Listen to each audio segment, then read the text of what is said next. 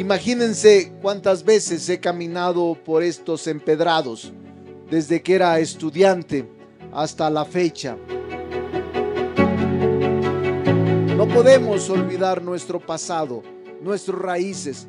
Por eso destinaremos todo nuestro esfuerzo, plantearemos a la cuarta transformación que estos lugares se preserven, que los lugares y los sitios arqueológicos monumentos históricos y edificios culturales sigan siendo nuestros representantes más genuinos y nuestro orgullo. El presidente López Obrador tiene ya un lugar en la historia.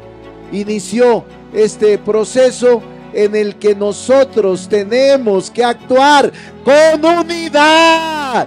Somos del proyecto liberal que luchamos por una mejor prosperidad, un país más libre, más justo y continuar con el proceso de transformación que vive México.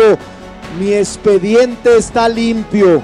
No tengo cuentas pendientes con la ley.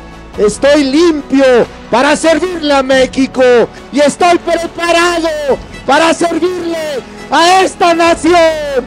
Estoy listo. Estamos a tiempo vamos hacia adelante, con todo, menos con miedo, con todo, menos con miedo. ¡Que viva!